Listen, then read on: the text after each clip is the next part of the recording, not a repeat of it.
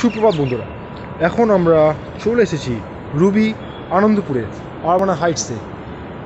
এখান থেকে আমাদের একটি সাইক্লথন অনুষ্ঠিত হতে চলেছে, যেটা এই আনন্দপুর থেকে শুরু হয়ে আরবানা হাইটস রোটারি ক্লাব থেকে শুরু করে ধর্মতলা চৌরঙ্গ অবধি, অর্থাৎ বারো কিলোমিটার অবধি আমাদের এই সাইক্লোথন অনুষ্ঠিত হতে চলেছে।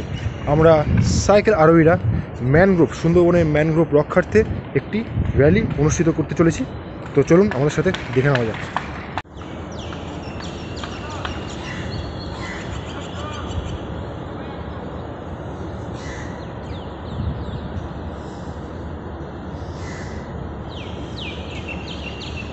গগনচুম্বী ইমারত।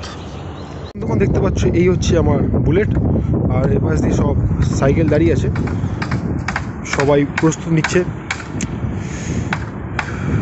তৈরি হয়ে যাচ্ছে সবাই। আর এখান দিয়ে আমাদের সাইক্লথন শুরু হতে চলেছে, যা রোটারি ক্লাব দ্বারা organised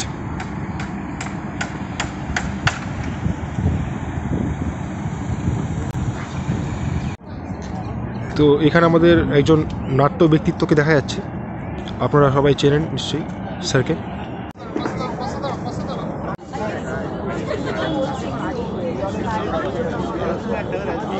Good morning, everyone. Can we please have the cyclists come here and register? বন্ধুরা এখন রেসের আগে সবাই সবাইকে নিয়ে এখন হালকা হতে যাচ্ছি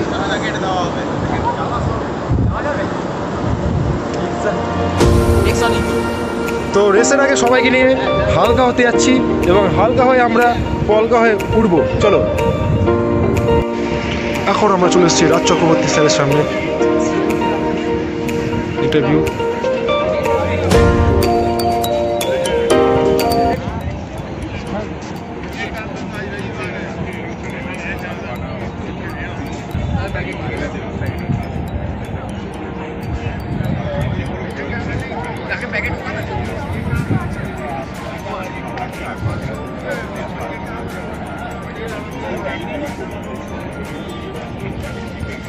और भी आ रहे हैं रास्ते में ग्रुप में मैं देख। रहा हूँ तो अभी चक्का के पास। है।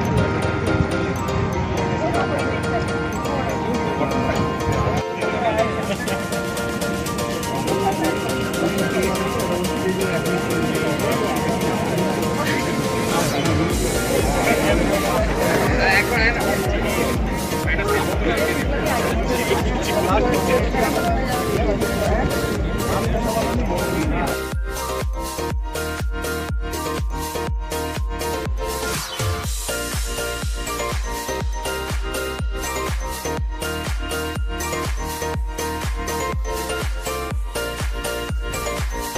পরিবেশ সচেতনতার বার্তা দিতে রোটারি ক্লাব অফ কলকাতা ও আরবানা রোটারি ক্লাব অফ কলকাতার উদ্যোগে শহরে সাইকেল র্যালি, সাইক্লোথনের আয়োজন। অভিজাত আবাসন আরবানা থেকে আজ সকালে শুরু হয় সাইকেল র্যালি। অংশ নেন শতাধিক সাইক্লিস্ট। কালিকাপুর, যাদবপুর থানা হয়ে গড়িয়াহাট ছুঁয়ে এজেসি বোস রোড ধরে যাত্রা শেষ হয় জওয়াহরলাল নেহেরু রোডে রোটারি সদনে। দীর্ঘ বারো কিলোমিটার সাইকেল যাত্রায় বার্তা ছিল ব্রেড গ্রিন। পরিবেশ বাঁচানোর পাশাপাশি ম্যানগ্রোভ লাগানোরও বার্তা দেওয়া হয়। এই মুহূর্তে সব থেকে ইম্পর্ট্যান্ট সব থেকে গুরুত্বপূর্ণ যেটা হয়ে দাঁড়িয়েছে সেটা হচ্ছে সজাগতা পরিবেশ সজাগতা। অর্থাৎ এনভায়রনমেন্ট অ্যাওয়ারনেস এবং সেই এনভায়রনমেন্ট অ্যাওয়ারনেস এর একটা দিক আমরা রোটারি থেকে ভীষণভাবে সারা পৃথিবী জুড়ে আমরা করতে থাকি।